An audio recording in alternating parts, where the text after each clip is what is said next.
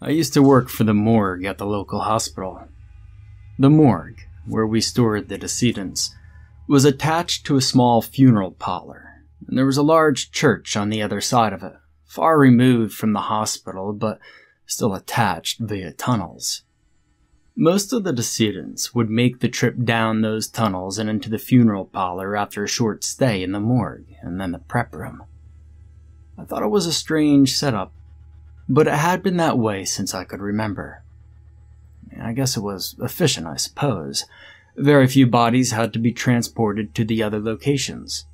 We just tagged and logged them as they entered the morgue, autopsied them. Then, when we got the green light, we wheeled them down a corridor to the prep area, where I spent most of my working hours, and I embalmed them.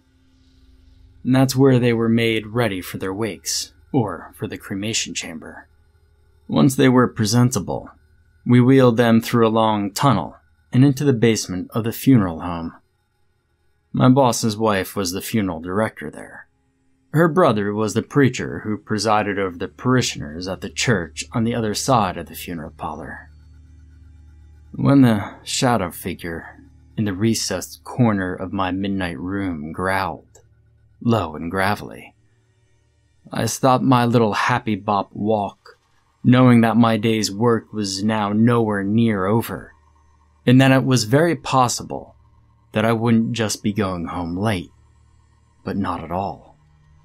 Terror stopped my heart, sent electric shock waves through my entire being from the center of my chest where the reverberating sound hit. I had screwed up royally, and it was too late to do anything about it. You see, the old proverbial shit was about to hit the fan, splattering my little spot in the universe in a most unsettling and nasty way. The shadow on the wall writhed like a newborn pup trying to free itself from the birth sac, and only the muscles I could use were the ones that moved my eyes. Hell, I might have well been a severed head for all the good I was from the nose down. The rest of my body was rigid, and I thought I must look like some of the corpses I work on after rigor mortis set in. Eyes wide, mouth gaped, body unmoving as cement. While my brain screamed commands to my frozen body, my eyes watched the shadow unfold as it turned toward me, my ears barely hearing the low growl, and my body feeling it. It wouldn't be long before I saw more than the thing's shadow. If I couldn't persuade my body into some kind of movement, one of the five corpses in the adjacent room was likely to make a meal out of me. Oh, I hope it's not the floater. I hope it's not the floater. Please don't be that guy. My brain was no longer shouting out commands. Instead, it was looping that one plea and all the images it conjured like a horror flick. The cops found the floater in an advanced state of decay and brought him in with the others earlier in the week. It seemed that people died in groups nowadays. Hardly ever did a day pass that we had less than three bodies come in. That day had been a slow day.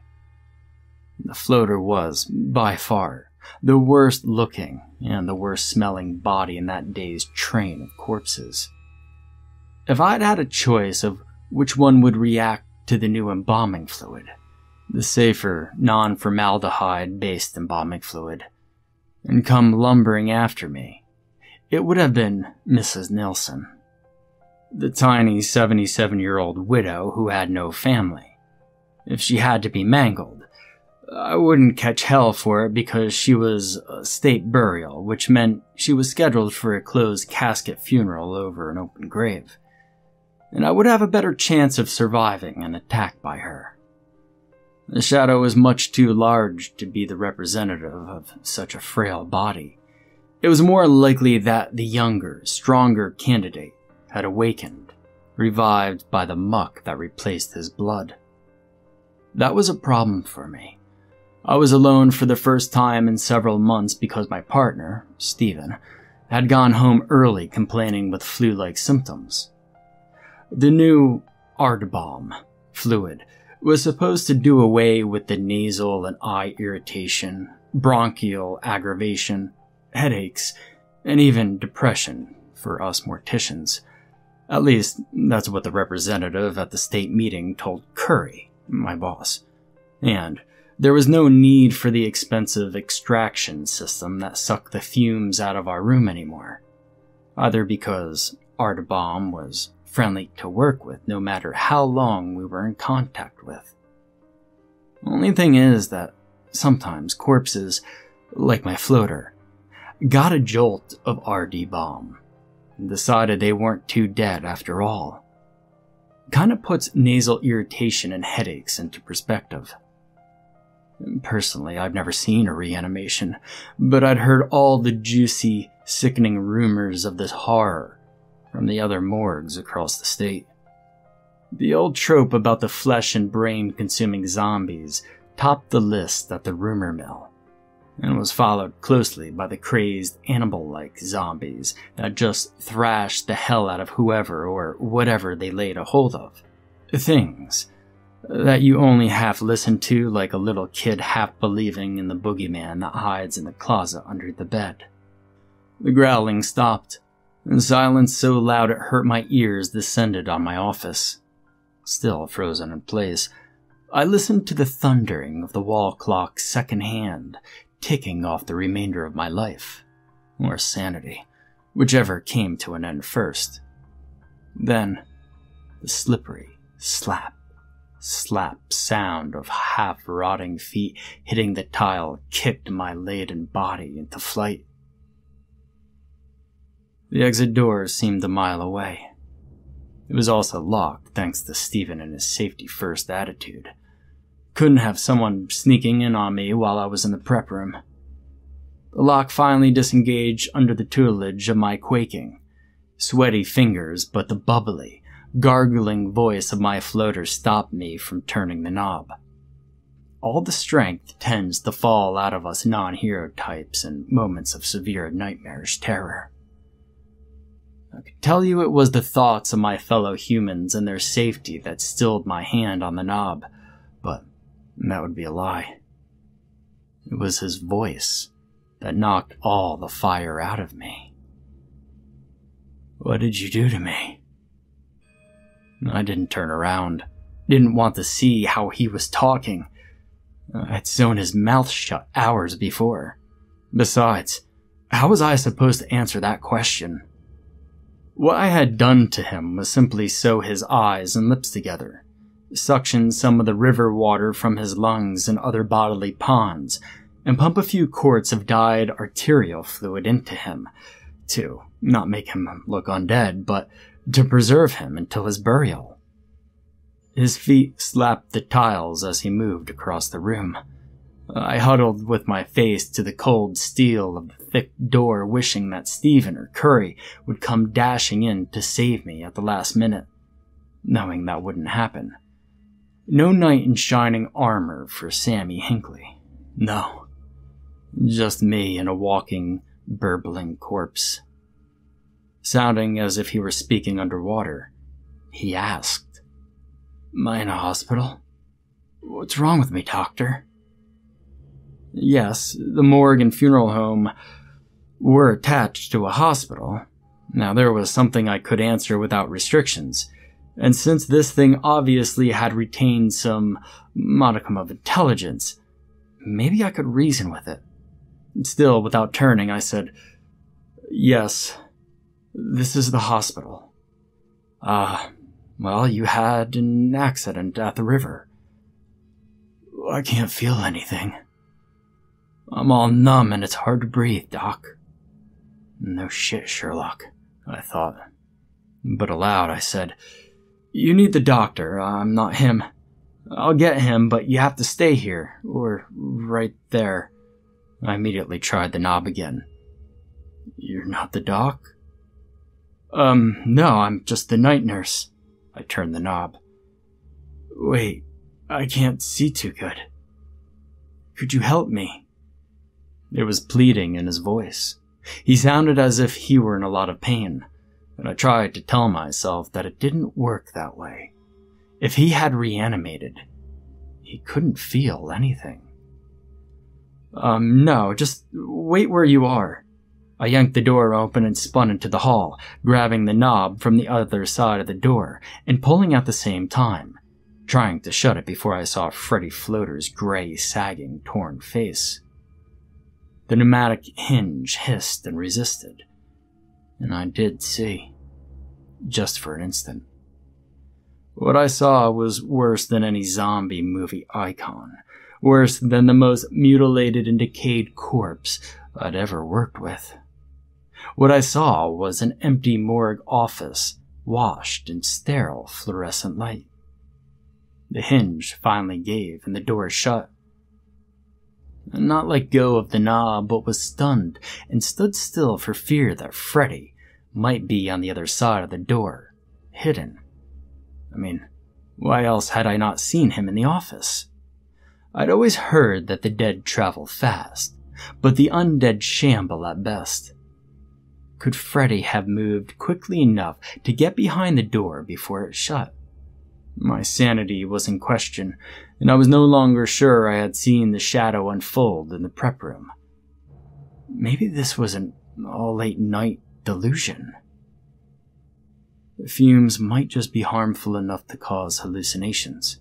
There's no reanimated floater in my office, and I'm standing here in the hallway trying to lock a figment of my imagination in my office.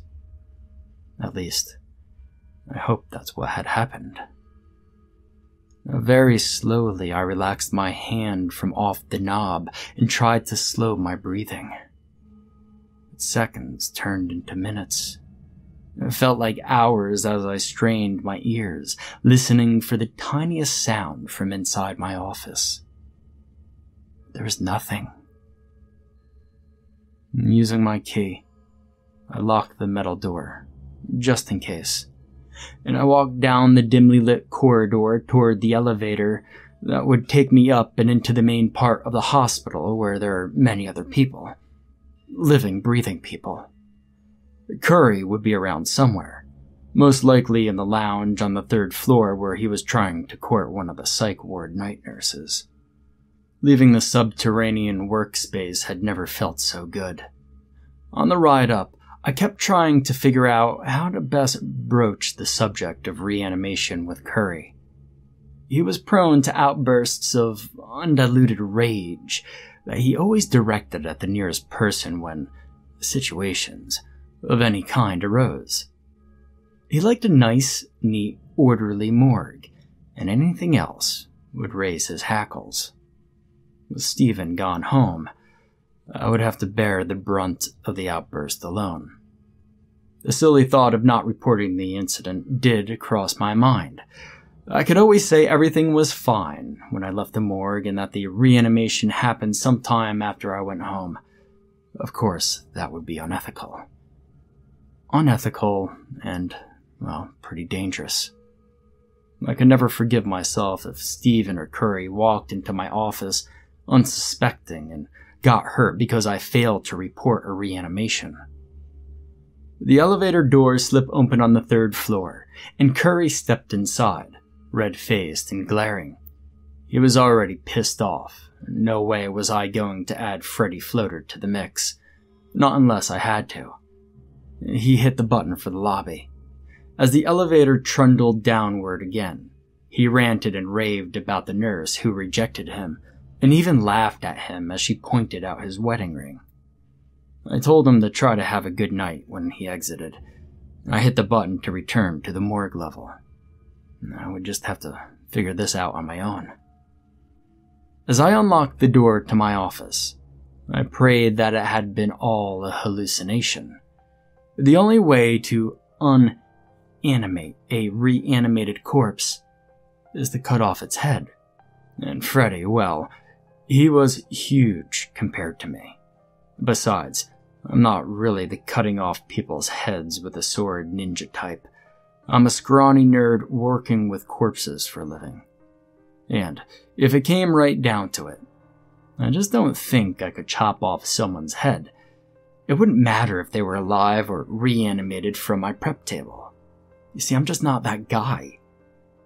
There was no Freddy floater in my office. No sign of some zombie shambling through and making a mess of my stuff. There was absolutely nothing, actually.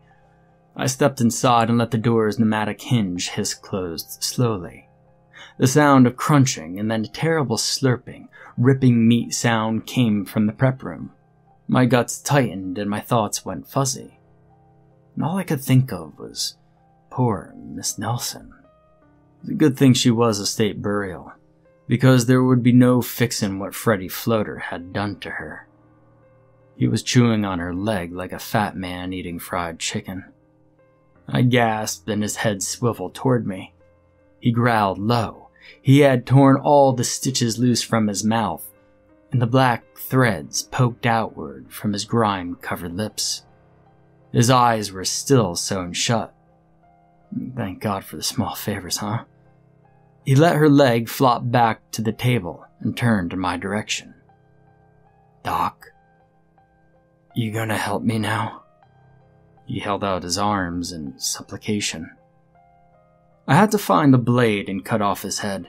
Then I dashed to the other side of the room and opened the cabinet where I store my tools. I grabbed the Liston knife, and before I could lose my nerve, I swung at the back of his neck. The blade opened a wide trench, severing tendons, tissue, and muscle. Freddy let out a loud moan and reached for the wound even as his head lolled gruesomely. He begged me not to hurt him anymore and fell to the floor moaning. His huge, partially decayed body hitched with sobs that produced no tears.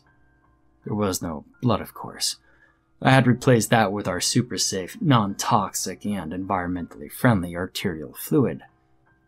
A few drops of that hit the tile floor, but with no pulse, a few drops were all that came out. Now, I don't know how you would have handled that situation, but I couldn't do anything but feel sorry for the thing I'd so grievously injured. It wasn't his fault he had reanimated. So I couldn't finish him off. Instead, I calmed him, coaxed him back onto the prep table, and told him he wasn't in any danger. I told him he would have to be strong so I could get the stitches out of his eyelids. He was, well, he whimpered, but that was all. When he opened his eyes, they were the same flat, lifeless, gray white they'd been when he came in. When he'd been dead for real. I told him what had happened to him he didn't want to believe me, but his decaying body convinced him. And he tried to cry again. Freddy was my first basement stowaway. I finished out my shift by getting all Freddy Floater's paperwork in order, making all the required audio files as he sat quietly in my office. God, I'll never sit in that chair again. I mean, the poor guy was literally falling apart. Pieces of him clung to that vinyl chair when he stood up. So I sneaked him out to my car through a side door, and then went back to do a final walkthrough. I left Miss Nelson as she was, and then I exited using my usual route. I put Freddy in my basement and explained to him that if he didn't stay there, out of sight, someone would make him dead again. I mean, he had the mental capacity of a young child, but he understood enough that he agreed. Convincing Curry that everything had been normal when I'd left work was easy. He was still preoccupied about his failed attempt at an affair. Stephen, though, wasn't as easily convinced. He had many questions, and the first couple of hours we were working together, I answered them. And then, he started having me repeat every detail again and again. And finally, I told him to drop it and told him no more. At the end of that shift, I took a neck brace from one of the storage rooms. Freddy needed some help keeping his head straight after I'd cut through the tendons at the back of his neck. I felt so bad about it, but at the same time, I knew there was no fixing it. So, well, few months later, it had happened again. A woman. I smuggled her out and put her in my basement, hoping she and Freddy would get along. Well, they did. As long as I kept bringing them food, food for them was flesh. It didn't matter what kind, they just gobbled it up. I didn't think I'd be able to continue stealing amputated body parts from the hospital, but I was able to. When the dead were slated for cremation by the state, I would often take off limbs to feed the undead in my basement. And Steve, whom I liked very much, kept nosing around in my business until one evening he caught me stuffing an amputated leg into the trunk of my car on lunch break. And well, you can guess all the questions he had for me then. And instead of trying to explain everything, I told him to come to my house the next day, and I would show him. I told him he wouldn't believe me unless he saw for himself. I liked Steve, but my undead friends liked him more. They made me proud the way they shared him, but they also scared me with their ferocious attack on him. It made me realize that they could turn on me. Still, I couldn't bring myself to kill them. They had become like children to me, as sick as that sounds.